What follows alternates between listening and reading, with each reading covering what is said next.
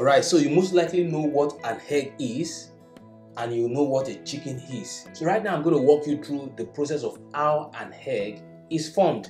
What I have before me here is the reproductive organs of two chickens, two female chickens actually. This that you can see here is what we call the infundibulum that is holding a lot of egg follicles. So if I did not put the chicken to sleep, all these that you are seeing here will also become an egg. They will be laid, most of them will be laid as an egg.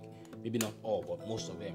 Alright, so about an hour after an egg like this is laid by the chicken, the next mature follicle, egg follicle, maybe most likely this one now, will begin to move down from this infundibulum we begin to move down through the magnum. Yeah, the magnum is actually attached to this. I've detached it.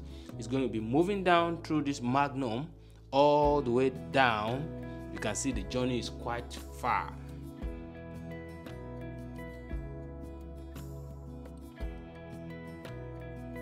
Moves down through this organ that you're seeing here, and all these things that you're seeing is called the oviduct moves down and when it gets to the isthmus here spends a little time here where the shell membrane is formed not the shell but the shell membrane that thin cover that thin layer and then it moves to the shell gland.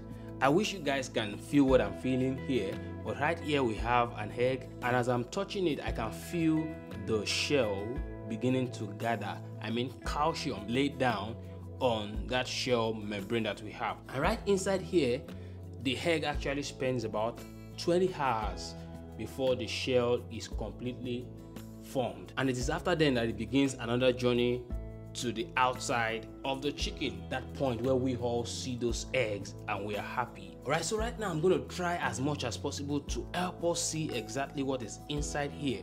I don't know exactly how i'm going to do it. Maybe i'm going to be cutting it with a knife or i might be able to push it out. All right so i'll just see what i can do. Let me oops pray for me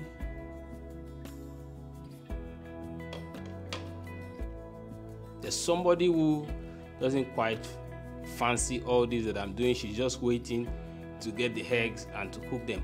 Oh wow. You can see the you can see the cracky look. You can see the cracky look. I don't know how well you can see this. Can you see that? Can you see that? Can you see that? Yeah that's the shell forming got the calcium yeah can you see that? Can you see that? Yeah that's the calcium. Let me get it all out. Wow.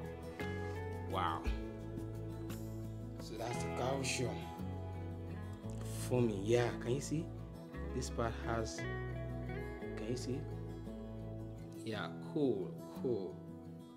All right so that's how the egg is formed.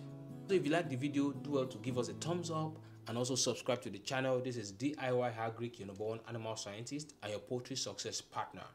See you in the next one